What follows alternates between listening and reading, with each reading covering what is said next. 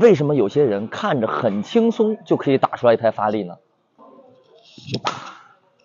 首先就是我们要闹清楚我们的腰腹究竟怎么发力，因为大多数人一旦出现了侧身，他就是转着击球。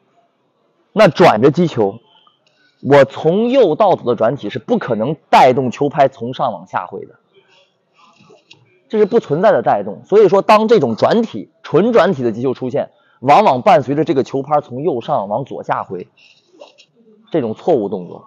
那正确的应该是什么呢？我们从侧身蹬转开始，脚蹬地出现自然后弓，这个时候我的框架，也就是说我的右肩、右肘要有一个往上顶的感觉，我的这个胳膊、肩膀和我的左髋、左腿已经是一个直的了，也就是我这个发力是一个纯纯的。由上到下的发力，那连接点是我的右臂和左腿。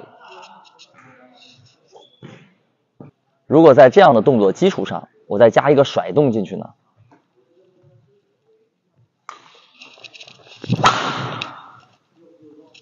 人在家中躺，球技心中长。